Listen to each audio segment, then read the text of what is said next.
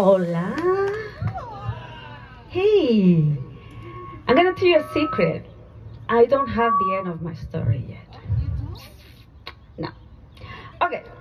My name is Maria Dolores Molina Muñoz. hmm My friends and family call me Loli. My husband, just to piss me off, he calls me Lola.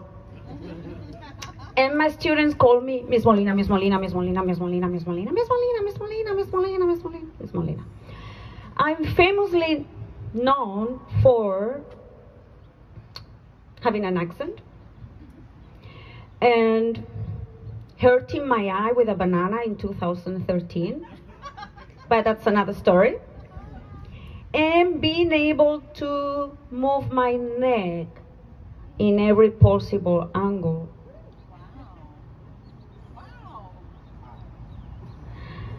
And in every situation. And why do I move my neck over and over? Because it hurts. I've been having neck pain and headache since forever. I don't remember when I didn't, not even, I don't know, first communion? I don't know. And I have tried everything, okay? Physical therapy, chiropractor, yoga, swimming, everything. And I even bought a book, the McKenzie book, How to Fix Your Own Neck, something like that. Didn't work. I have also went to doctors, okay? Doctors in Spain, and fortunately they were free. You know, we have what they call universal healthcare system. Mm-hmm. That's super scary socialism. And I've been to doctors in America too, the US. Doctors in America. What a trip, guys. What an experience. So last month I went to a doctor. Okay, I called this place that I found on the internet because the name was like so it looks so professional, no?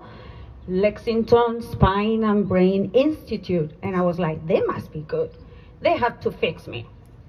So I went to the doctor, and I told him my neck hurts and I have headaches. And he said, first, you don't have headaches from your neck. You don't have headaches from your neck, you know? And I was like, wait, this is not a good start. And then, let, but let me check your x-ray. And he looks at my x-ray and he says, your neck looks great. Perfect. And I look at him like, you must give me another answer, Lexington Spine and Brain Institute. That doesn't, uh, no. No, it looks great. Indeed. Your vertebrae are wonderful, beautiful. Great space, everything. And I still look at him like, no, it's not, not, not an answer. And he said, wait, wait. Maybe I know why. Indeed, you have a very long neck.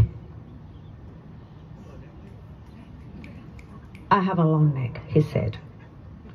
And your neck hurts because you have a long neck.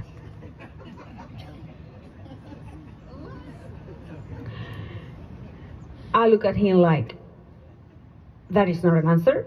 Still, I don't like it. So he was like, okay, we're gonna do an MRI and you have to return October 18th. you see, it's an open story. So, okay, do the MRI, still waiting for October 18th. But what do you do in the meantime? What do you do when you don't know what's going on with your body? Where do you go? Google. You go to Google. So I was like, I had to Google. Okay, I need some information. And you Google because neck pain, headache, symptoms, um, occipital neuralgia, migraines, number stuff, brain tumor, all you can have when you have this kind of pain. But still, in back of my mind, I was like, you have a long neck. You have a long neck. And I was like, what about giraffes? They have a long neck. Their neck must be in pain. And I was like, gonna Google about giraffes. What do they have long necks? Hmm? Scientists, they have argued about this for centuries. But I have a, I'm gonna summarize it for you, okay? So this guy, Lamarck, French, he said that um, giraffes have long necks because they try to um, reach high branches and that super cute characteristic they they uh, their heritage? They, they evolve yeah i didn't get the word you see? I don't, i'm not looking at my cards.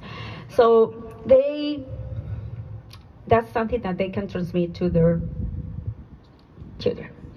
Children. So okay. That was like i don't have children so well okay but then darwin everybody knows darwin huh?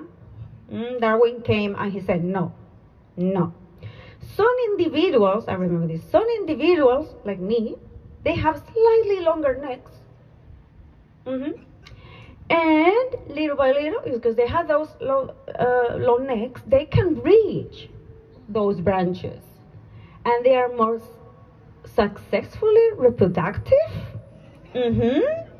Okay, I was like, okay, good thing, successfully reproductive, because I have a longer neck. And then someone came after Darwin. This was Mivart. He was English. And he said, no. Because he was like, no, we forgot religion. why do we have to put religion in everything? We forgot religion. What happens is, if these uh, giraffes, they can reach those branches and they evolve, what happened to the other vertebrates that didn't evolve? Why didn't evolve? Didn't they evolve? And Darwin say, you got a point. And I continued reading and reading and reading, and the article was so long that I had to stop because my neck hurt. Okay? So I was like, need to find my own theory. What happens? Why do people like us have long necks? Okay? And I said, I call myself a giraffe woman. Giraffe woman. But there are giraffe people. Okay? Physically, as a giraffe woman, you can see I'm short. I had to stretch my neck so many times. Like had to get to the high shelves in the supermarket, to uh, a couple of tall boyfriends I had to. That was painful sometimes, but still worth it. And then that was physically, okay? But metaphorically, you have to stretch your neck over and over and over for so many situations in life. And you have to jump, and you have to tiptoe, and you have to keep on trying. And that hurts. That hurts. And you know what? That doesn't show on X-rays and on MRIs. And it's there. That pain is there. And we have to keep on trying and trying and trying and stretching our necks. But there is healing. Mm, there is healing. And probably doctors will never tell me what to do with my neck. They will never know. But to me, the best healing is telling the story of my neck and telling everybody, hey, giraffe people, giraffe people, we are here. I see you, giraffe people. I see your pain. Okay? I see your pain.